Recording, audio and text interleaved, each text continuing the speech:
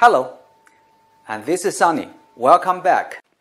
In my last two videos, I talked about the definition of cloud computing and three cloud service models.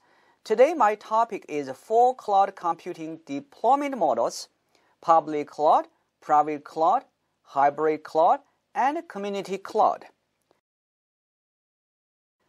The public cloud refers to cloud services offered by third party providers over the Internet. The public cloud services are available to anyone who wants to use, free or paid. If we are using the Internet, there's a good chance that we are using public cloud services, and almost everything we did over the Internet is connected to the public cloud one way or another. Private cloud belongs to one organization which can establish its own private cloud on its own servers in its own data center. The big difference between public cloud and private cloud is that private cloud is used exclusively by a single organization, while the public cloud is shared by the public and operates for profit in general. Public cloud is accessed over the internet. Private cloud can be accessed over the internet or by private networks. Public cloud is suited for less confidential information, and private cloud is more suited for confidential information. Here, I want to emphasize one point. Just because we have several public web or mail servers in our own data center, it doesn't mean we have a private cloud.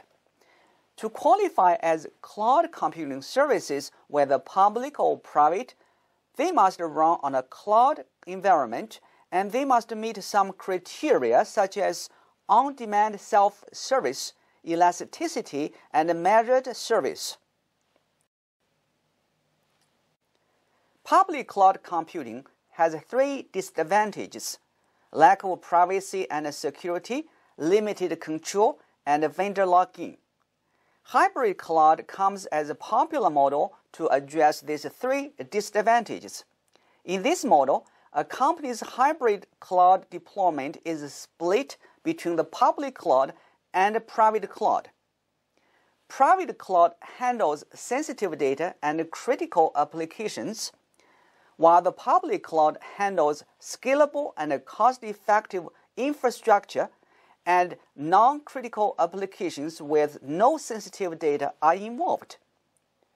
To address the problem of vendor lock in, organizations can leverage multiple cloud platforms.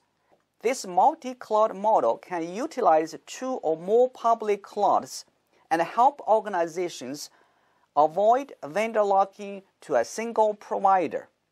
The hybrid cloud model is the way of the future.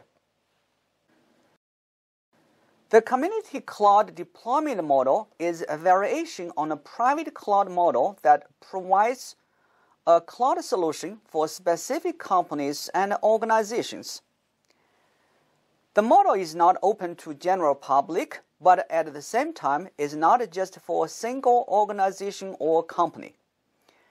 This model works well for organizations or company with similar concerns regulations or functions. For example, several hospitals and health institutions could use and share a community cloud.